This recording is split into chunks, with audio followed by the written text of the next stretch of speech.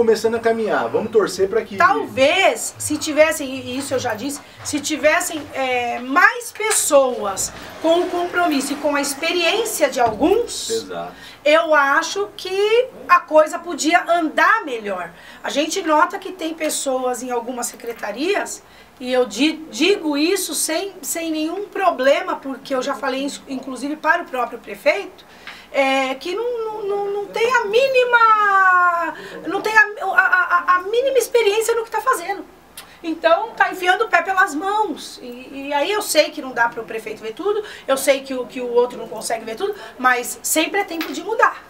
É, mudar na realidade Né? e ter sempre uma é eficiência, de, né, de, é, de dar eficácia para isso. Nós, nós vivemos um momento de crise econômica no país sim, de exceção. Sim. Se não tiver uma gestão e essa gestão for eficiente, é lógico que a cidade vai sentir mais os problemas, né? Com certeza. Ou vamos deixar para comprar carne quando a carne acabou? Tem, sabe, tem coisa Né? assim, numa cidade desse tamanho, que é maior do que muitas capitais Sim, do nosso país. Então é, é, vejo que o prefeito, eu, eu creio que ele até tenha boa vontade e, e queira fazer a- alguma coisa na nossa cidade. Agora precisa de gestão, precisa de um, né, uma agilidade na, na- no secretariado.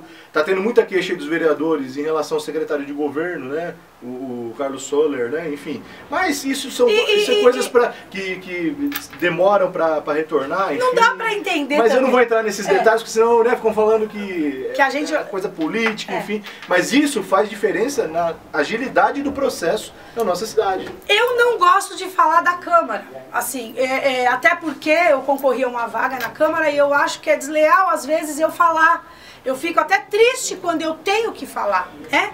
Ah, mas, doutora, mas eu às vou vezes falar. eu sou obrigada. Eu vou falar também. Né? Porque eu, eu não tô vendo trabalho.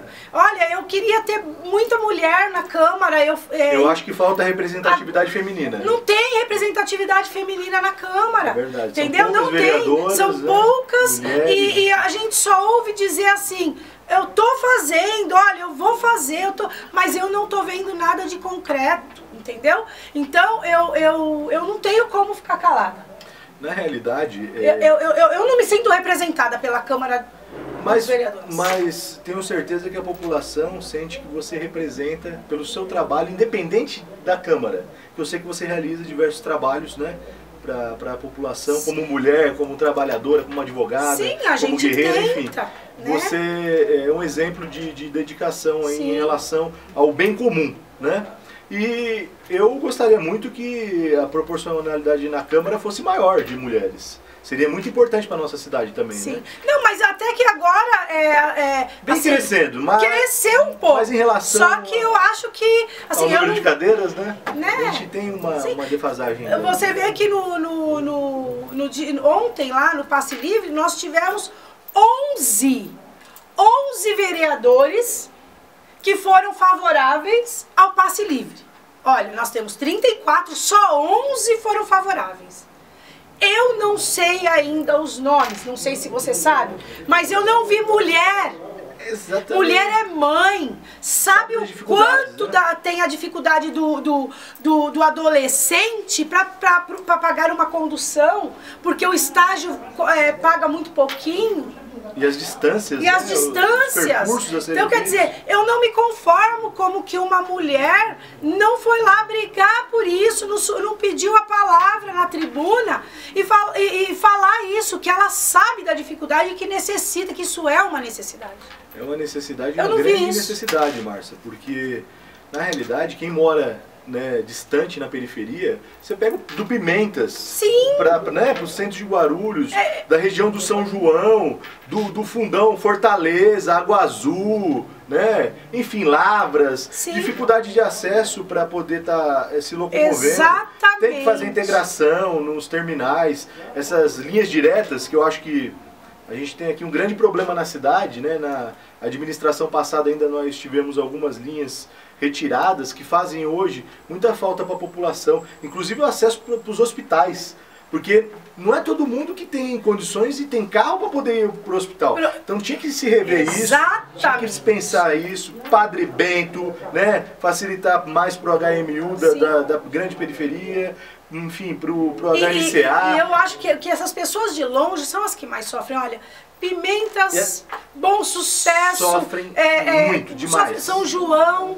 É, gente, é muito presidente. Não, porque do- vai pro, vai, vai pro hospital é, é, municipal de, de- do Pimentas, o que, que acontece? Bom clima. Tem que vir- Bom clima, geral, geral. é, Padre Bento, Padre Bento não atende pronto-socorro. Eu- Aquela, né, aquela é um absurdo também. Você, acredita que o Padre Bento, ele não tem recepção no pronto-socorro para as pessoas sentarem, não tem cadeiras? Então, isso é um absurdo. Eu, eu, eu, eu, eu, eu falo. O diretor lá reconheceu isso, viu? Reconheceu? Inclu- Inclusive, ele, ele falou que pediu um prazo para resolver esse problema de 60 dias. Como que você tem uma unidade de pronto atendimento, pronto-socorro, e você não tem cadeiras para receber a população? E, e É você governo tem- do Estado, Como né? que Vamos pode? claro. Olha, o É Marcelo não Estado. tem nada, não é, não, é, não é candidato, não tem pretensão de sair candidato e, e- e se, e se importa com a população, né? Tem muitas pessoas que são assim, Que são assim. Agora, como que pode algumas pessoas que estão lá, que foram votadas para nos representar, É complicado. E a gente vê que, na realidade, essa omissão acaba tendo reflexo na sociedade. Quando uma mãe ela tem um filho doente, né, às 11 horas da noite, 10 e meia da noite, que ela não tem acesso a um transporte, você sabe, ela tem que recorrer a um vizinho, alguém que tem um carro para poder estar transportando. Chega numa unidade, não é atendida. Se entra na unidade, não tem cadeira para atender. Então, quer dizer, nos dias de hoje, a gente vê a população passar por um descaso desse, é muito complicado. E com recursos, viu? Com recursos. O senhor Geraldo Alckmin teve aqui, inaugurou é, é, o pronto-socorro Do do, Padre do Bento. Padre Bento. Até agora lá é só para receber ambulância. Né? Se você É. vier de uma outra fizeram. Aí sim apareceram vários vereadores tirando foto e etc, etc, etc. E Mas o ano que vem tá aí. É muito bom para as pessoas, né? Verem quem são os candidatos que. Ou, ou os candidatos não, perdão, os políticos, os deputados, enfim, que estão cobrando isso. Isso daí é um direito seu que não está É. sendo, é, na realidade, oferecido. O, o deputado estadual, né, enfim, até Quem- mesmo o deputado quem- federal que manda verbas aqui para o nosso município, é muito importante a gente acompanhar o gasto desse dinheiro público, como ele está sendo gasto. É. Porque o dinheiro ele porque vem o dinheiro vem. ele é mal gasto. É o que eu falei. A gente só não sabe, eu pelo menos não sei onde está gastando, porque eu não tô lá. Se eu fosse, se eu estivesse dentro da Câmara, eu gostaria de saber aonde estava indo. Mas a função do vereador não é fiscalizar? Exatamente essa. Então, Entendeu? é importante que a população, Márcia, eu vejo o seguinte, as pessoas, na grande maioria, né, às vezes por falta de informação, Sim. nem sabem o que o vereador faz, na realidade é, É. isso. Então falta conscientizar a população que o poder está na mão né, de quem elege. E, e- e eu acho que está muito mais na mão de um vereador do que de um prefeito.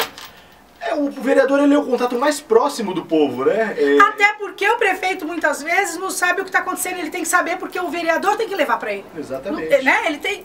Então, é, me entristece muito ver isso e como eu, eu, eu, eu, te- eu fiz o convite de você vir, porque eu vejo a sua, a sua preocupação com a população e eu estou sempre convidando quem tem preocu- preocupação com a população. Inclusive, sempre digo aqui é, e, e- retorno a falar todos vocês, inclusive vereadores, é, assessores, quem quiser participar para vir aqui explicar o que a gente não está entendendo o que está acontecendo, tem o canal aberto para vir. Eu agradeço, Márcia. Aproveitem, o espaço é livre, democrático.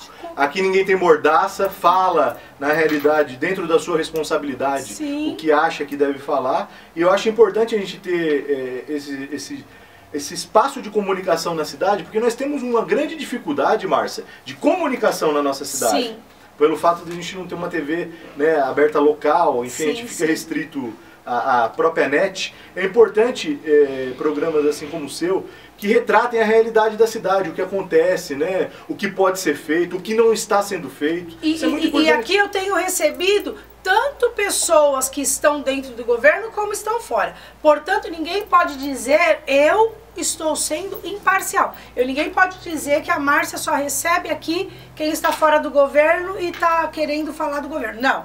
Nós estamos querendo melhorar a, a- a- situação guarulhense. Nós estamos querendo fazer algo pela, pela população e que, que os nossos governantes nos ouçam. Na realidade, Márcia, eu acho que isso é bom até pro, pro prefeito, porque as críticas Sim. Elas, quando são construtivas, né? Ou quando mesmo a gente cobra, que a gente vai cobrar mesmo. Se foi prometido cobrar. lá atrás e não está sendo cumprido, a gente vai é, colocar o assunto em pauta novamente. É importante vir dar explicações, né? falar das ações que o governo pretende é, tomar ou já está tomando, até para que a população saiba o que está sendo feito. É, né? outro dia me perguntaram, mas e se o Eli Correia estivesse lá e você fosse vereadora? Ele ia apanhar se ele tivesse que apanhar. Ponto.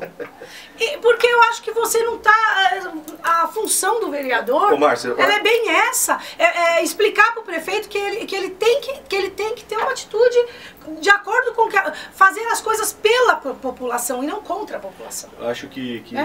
os vereadores têm que ter a clareza. Sim. Eles não podem entregar um cheque em branco na mão do prefeito. Até isso tem que ser discutido, isso tem que ser debatido, né? Os projetos, eles não podem, na realidade, é, com ela abaixo. Sim. Ah, vamos mandar para aprovar. Não é assim que funciona. Nós temos uma Câmara aí, né, que... Assim, está começando agora, a gente né, tá falando, o governo, mas já está indo para um ano de governo, né? É.